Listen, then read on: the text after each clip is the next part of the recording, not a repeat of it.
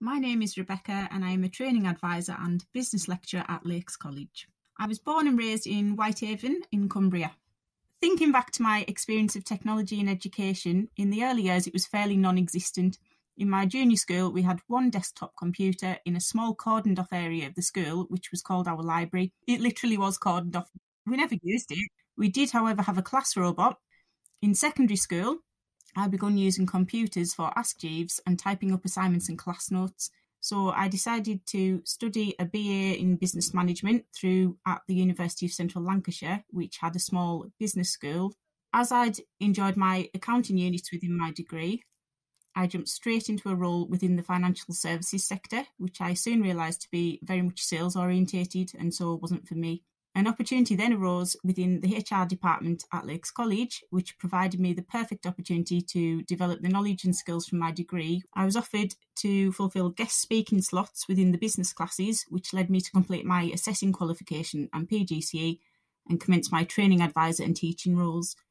My official learning style is that of a reflector. Similarly, I'm quite a visual learner, so I like to see how a task is performed and understand the whys and hows. I don't think it's always necessarily easy to use new technology, but I find that the more we immerse ourselves in using it and challenge ourselves to do so, the more we develop and improve our digital skills, which makes it easier to adapt each time. I also think that there is so much more support available now that it isn't as daunting as it perhaps once was. This is what makes technology now much more accessible. I find using technology in my role really useful as it helps bring some of the more mundane tasks to life. It makes learning more inclusive as I can adapt resources for learners to support differentiation. I think some of the main barriers to using technology within my role are often the things beyond our control, like Wi Fi and connectivity issues, which can interrupt classroom delivery. There is so much technology I would like to use within my classroom, but I often find that one of the main barriers to doing so is time we need to spend time to learn how to use the technology, but then also consider how best to incorporate it. I think it's important to be mindful of the fact that learners are all using a range of different devices to access learning, and that some devices allow more accessibility than others. When technology goes wrong, I find it really disheartening because I've invested the time in preparing resources. It can dramatically affect the learner's experience and engagement and can be frustrating for them too. Initially, I would feel embarrassed if technology failed, but now I've realised that people are more empathetic as they've often experienced these situations themselves.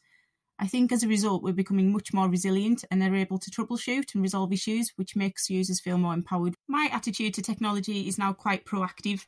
I'm always looking at ways I can make a mundane task a little bit more exciting to support online learning, revision, and not require too much time to create often I'll get really excited about using a resource in a class and then it's gone in 60 seconds, so it's finding the right balance. In my experience so far, it's often the simpler the approach, the more successful the outcome.